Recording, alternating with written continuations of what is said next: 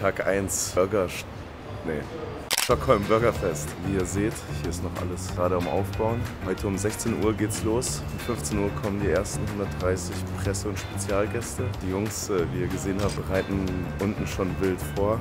Portionieren Fleisch, wird gleich frisch gewolft, Zwiebeln geschnitten. Burger Beyond, die Jungs haben schon gestern fast alles vorbereitet. Wir sind ein bisschen früh dran heute. Tayo ist sich noch was zu frühstücken holen gegangen. Ich bin ja auf Diät und musste ja heute leider brechen, darum ähm, setze mein Frühstück aus und wird über den Tag mit drei Burgern ersetzt. Mega aufgeregt. Die Burger Beyond die Jungs haben so krasse Burger. Ich habe es schon gesehen auf Fotos und äh, ja, wir sind echt ein bisschen aufgeregt, dass unser Burger nicht gut ankommt. Aber weil das hier eine fucking Burgerstadt ist, die einfach zehn Jahre, wo wir eigentlich zehn Jahre hinterherhängen, ist irgendwie krass. Wir haben seit elf Jahren Smashburger hier. Freust du dich aufs Burger Festival? Hussein spricht noch nicht so gut Deutsch. Wie lange bist du schon in Deutschland? Ja. Sieben Jahre, sechsköpfige Familie, lernt gerade Deutsch, aber kann schon ganz gut. Seit wann bist du bei uns? Halbes Jahr? Sechs Monate? Sieben Monate, ja. Und macht dir Spaß? Trauriges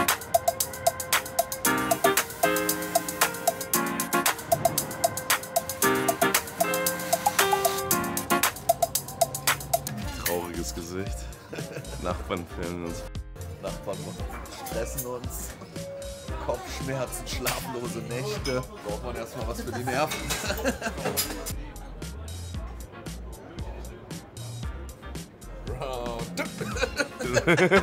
Kajo ist wieder weg im Business.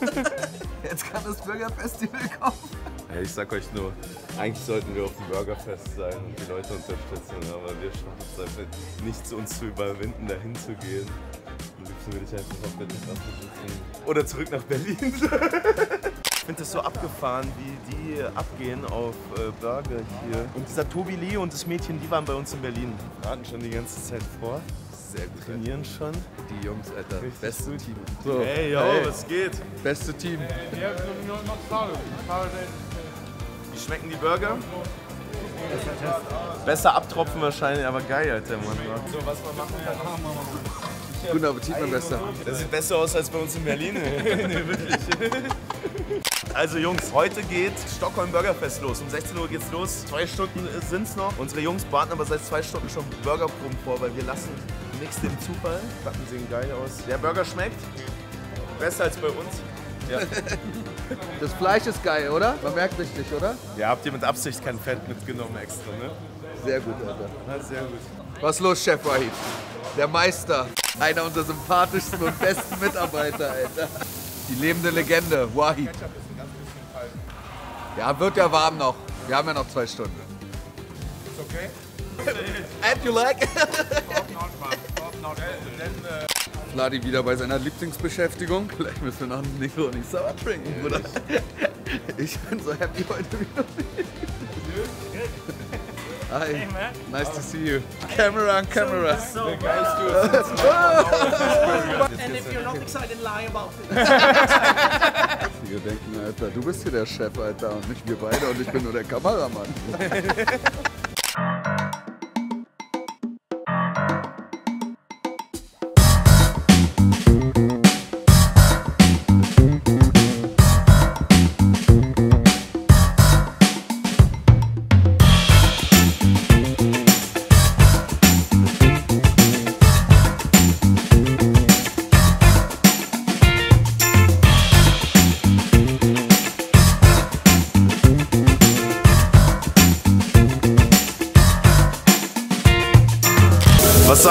Meister Kajo zu den Burgern? Ja, unsere Jungs sind einfach so gut eingearbeitet, das ist so unglaublich. In Schweizer Uhrwerk. So heißt doch der blöde Spruch.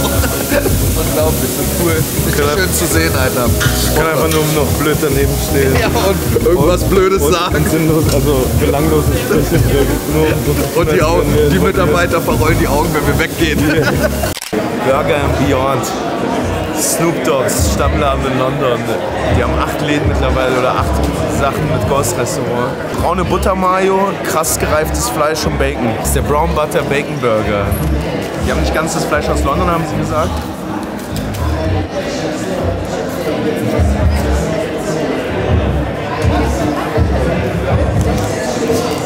Boah, das ist ein geiler Burger. Mir persönlich fehlen Pickles, aber er ist. Richtig krasser Burger. Ja? Der ist so durch diese braune Buttermayonnaise, der uns, mich an mein, unseren Bekrösti. Perfekt, Alter. Bon in die Hand bekommen und direkt. Ich finde das Brot das fühlt sich so schön butterig an. Ja, Mann. Und es ist so, Hast nicht so wie das Martins, aber es ist äh, so, so, es ist Tausendmal geiler als so ein Bäckerei-Brioche-Brötchen. Das ist aber echtes krasse Brioche. sehr viel Speck. Ja, ein bisschen zu viel.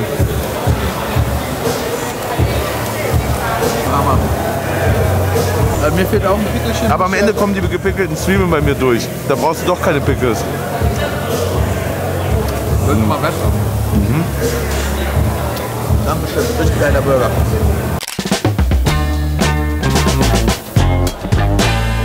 Ey, nur so. Ich habe schon so ein paar Insights bekommen. Anscheinend schmeckt äh, den Leuten hier unser Burger am besten. Man sieht, wenn man anfragt, was Burger ist, man sieht es. Ich äh, bin so stolz auf die Jungs, Alter, wie krass die performen. Heute ist Tag 1 und wir müssen jetzt den anderen eine Platte abgeben, weil die verkackt haben Und wir zu krass sind. und wir einfach zu schnell schicken. So. Darum müssen wir extra langsamer schicken, weil die anderen nicht hinterherkommen. Verrückt, ey. Hätte ich nicht mit so viel Aufregung hierher gefahren und jetzt können wir uns rausklinken endlich. Hey, nur so Leute, wir sind schon wieder hier. Burgerfest war ein bisschen zu langweilig. Wir sollten uns eigentlich die Flasche Weißwein, äh, Rotwein konnten wir nicht austrinken gestern. Gestern war der Geschmack mit Trüffel mehr. Ja, ja, voll. Ich glaube, der hat uns auch ganz komisch angeguckt, als er gehört hat, ey, das hat wie Trüffel geschmeckt. Okay. Krass. Wir hatten die große Ehre, als Gast dabei zu sein, wurden eingeladen nach Schweden, nach Stockholm. Und wie ihr hinter mir seht, die stehen alle hier für unsere Burger an. Was ist das denn? Schweden ist das heimliche Burgerland Europas. Die macht hier eigentlich die besten und hier ist auch so ein kleiner Foodtruck, der anscheinend den allerbesten macht. Den schauen wir uns auch noch an. Aber hier ist gerade äh, Burger Beyond aus London. Acht Läden, richtig heftiger Burger mit brauner Butter, Mayo und Bacon. Die Burger Dudes, die uns eingeladen haben, haben Burger. Und wir natürlich mit unserem klassischen Smash Burger, genau. Wir müssen das, glaube ich, noch Ist gut, nee, ist richtig gut. Ist richtig gut. Auch wie du da reinkommst, ist super. Okay, okay. Super.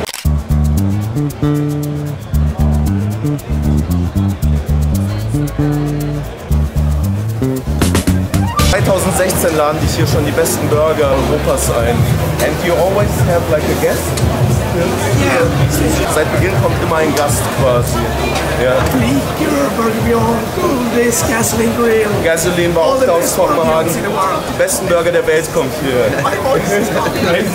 Stell mal Gregorius kurz vor. Ey, einer unserer sympathischsten und besten Männer aus der Oranienstraße. Ich sag immer seinen Namen leider von Seit wann bist du dabei?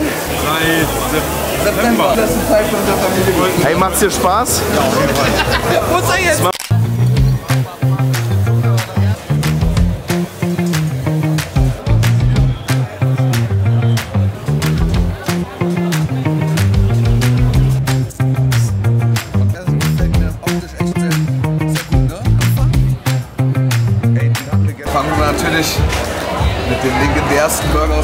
Berlin-Kreuzberg an.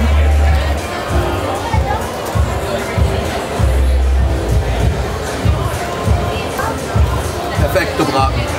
Knusprig, nicht zu knusprig und einfach wie zu Hause.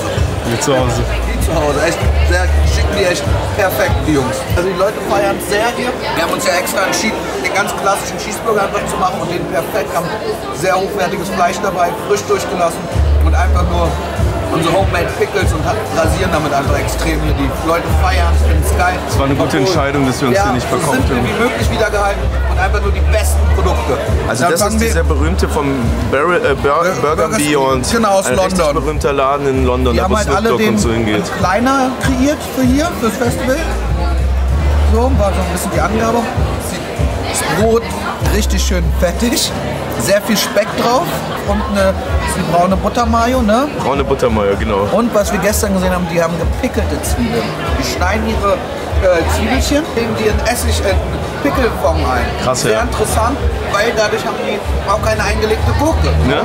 Mal gucken, ob das ausreichend ist. Ich stehe halt schon immer, gerade weil wenn man so viel Fett hat, schon auch auf so ein frisches Gürkchen. Ich finde, es ist so ein sehr angenehmes Essgefühl.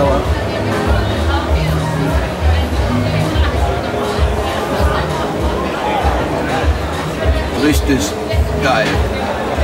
Mit den Zwiebeln, da war jetzt auch, auch ordentlich Zwiebel dabei. Besser verteilt. Besser verteilt als gestern. Boah, ja, er ist schon sehr fettig, muss man sagen. Also Und kommt die meine- braune meine Butter Finger- heute ein bisschen mehr durch? Ja, wollte ich auch gerade sagen. Also meine Finger sind erstens richtig ölig beim Essen, muss ich sagen. Aber es ist geil. Ich bin froh, dass er nur so klein ist, weil ist schon sonst sehr mächtig. Aber sehr, die braune Butter kommt gleich durch. Die eingelegten Zwiebeln kommt ganz leicht am Ende durch. Finde ich sehr angenehm. Man Aber für mich könnte es immer noch ein Gürkchen haben, muss ich sagen. Ja, aber man muss dazu sagen, das ist eigentlich kein Fastfood-Burger, ne? Das ist eigentlich eher Steakhouse-Pappburger bei denen, ne? Mit dem man nicht so schnell auf die Hand auf der Straße isst eigentlich, ne? Nee, sondern Oh, da sitzt man nicht schon eher genau hin. Sehr geiles Brot. Lass mir mal noch was. Und der- so, darauf muss ich Warte, sagen. ich nur ganz kurz, bevor du ja, anfängst. lies mal laut. Ich kann es leider nicht, ich kann leider kein Schwedisch, aber es ist irgendwas, es ist ein Light Spicy Burger. Wir versuchen, und mit Bacon ist da dran, Pickles, kann ich hier lesen, und irgendwas von Goju Jangas, also koreanische, Mayo. koreanische Chili-Paste Mayo. So sieht er auch nämlich ein bisschen aus. Und dann sind da noch Zwiebelchen, Gurken, gehackte Zwiebelchen, gehackte Gurken. Dann Auch gut. Ja. Fand ich auch geil. Speck wieder dabei. Die lieben Speck hier in Ja, Schweden. scheint so. Also die kriegen die ganze Zeit nur Speck bei den anderen Ständen. Also ich muss sagen, darauf freue ich mich gerade am meisten, weil es halt auch von dem Veranstalter. Die Pfefferkörner sieht man auch noch richtig schön drauf. Jetzt und alle haben halt hier das fr- frischtes Fleisch heute abgedreht und gestern und wahrscheinlich Mhm. morgen auch. Also man hat ja einfach schon echt Top-Produkte für so einen kleinen Burger. Der eine meinte, fast alle Burgerläden wolfen ihr Fleisch selber hier in, ja, in ich mir gut Stockholm. Ja. Ich beiß mal ab Ja, jetzt, weiß mal. Er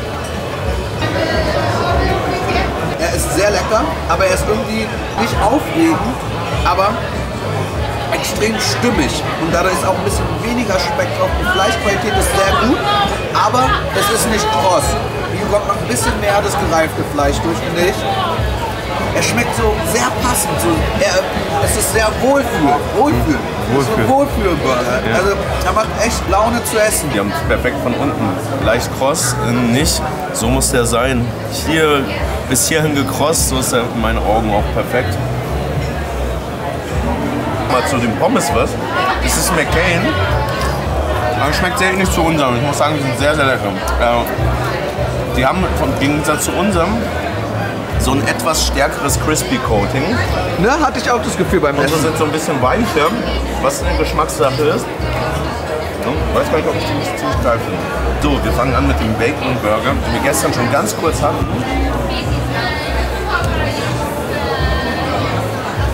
Der ist mega lecker, auch mit den Zwiebeln ist der halt, der verbindet sich sehr gut. Alle Zutaten verbinden sich, weißt du, der hält sich halt zusammen, wie so ein richtiger Burger halt sein muss. Perfekt. Der ist oben schön kross gebraten, unten überhaupt nicht. Zwiebelchen kommen, sind ganz geil, finde ich. Nur der Essig, der die gepickelt hat, der ist irgendwie sehr vordergründig, finde ich, Ja, ja. am Ende.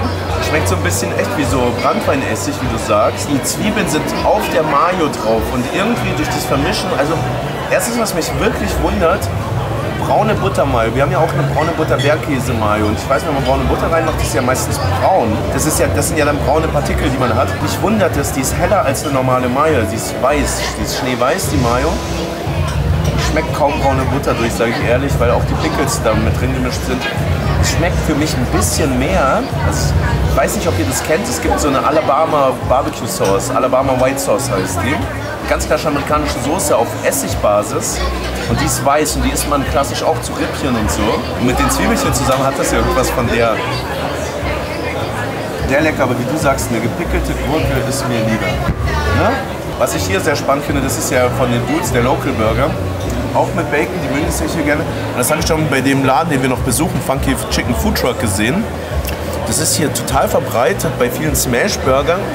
Weil Wir, wir schneiden ja die Zwiebeln in Würfeln, das machen die auch, aber die schneiden oft die Gürkel noch in Würfeln. Ich finde das total geil, muss ich sagen. Weil dadurch hast du so eine Mischung. Aber andererseits mag ich, bei uns ist das ja diesen McDonalds-Flavor, kriegst du ja nur durch eine Scheibe Gurke. Der ist was sehr herzhaft, überhaupt nicht scharf.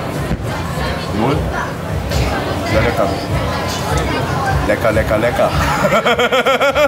Hi nochmal vom Burgerfest. Das ist heute der letzte Tag. Wir haben hier eine der Gründerinnen von den Burger Dudes bei uns und wir wollen einmal kurz ein kurzes Gespräch mal führen und wir machen endlich mal ein Interview. Hi, how are you? I'm good. I'm excited. Well, how's, what's your name? My name is Celine, uh, and I'm part of Burger Dudes. Uh, How it came to Burger Dudes? When you founded it? Who founded it? I wasn't actually part of the group that founded it, but it started with a few guys that got to know each other over the internet. They started a hashtag Burger Friday on Twitter, but as the boom kept coming, everybody kept saying we're Stockholm's best burger, we're Sweden's best burger, we're the world's best burger, and they got annoyed because there was nobody like controlling if they actually were the best burger. So they decided that we're gonna be the ones that decide who's the best burger. The, burger connoisseurs from Sweden. Yeah. Crazy. We can't understand it till now. We see like how it hypes, Yeah. how it's going crazy. You said it's to, from, since 2016 you make this burger festivals. You invited the best burgers from the whole world, from Yeah. Europe.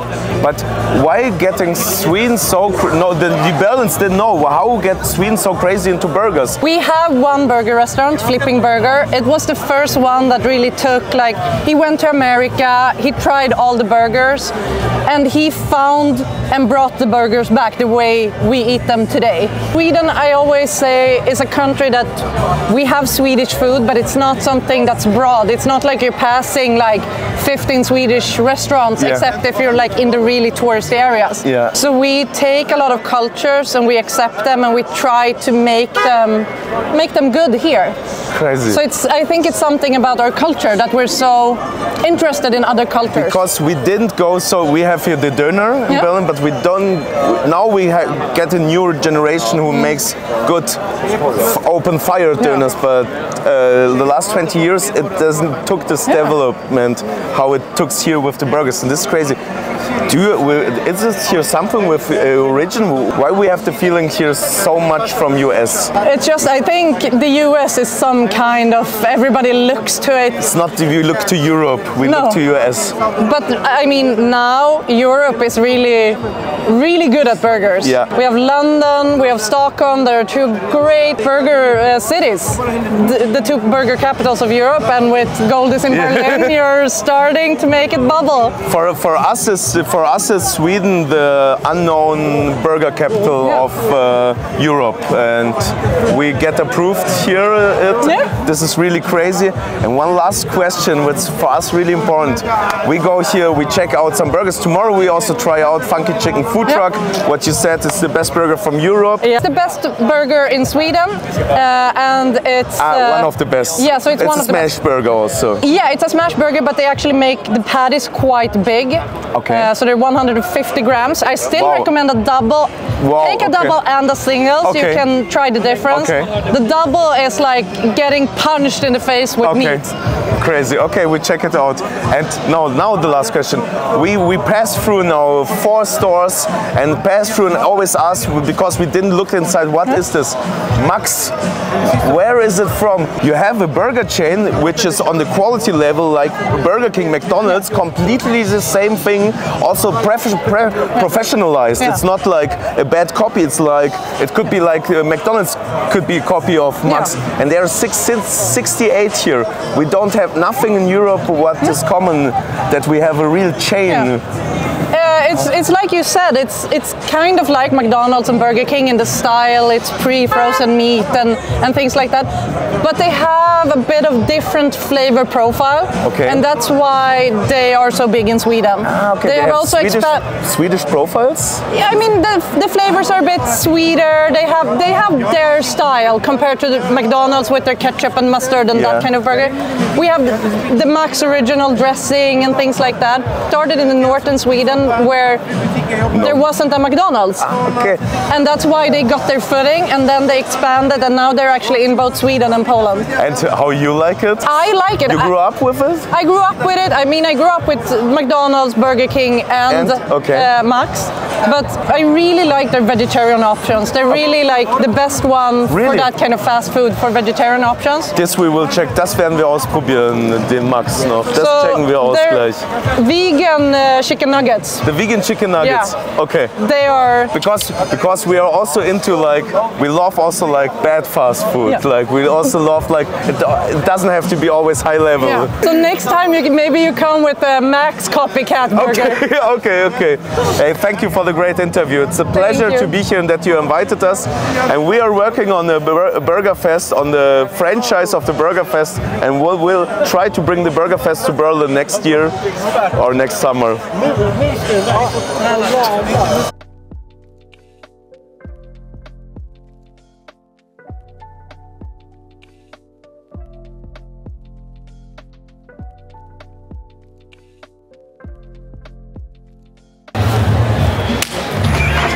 Yes.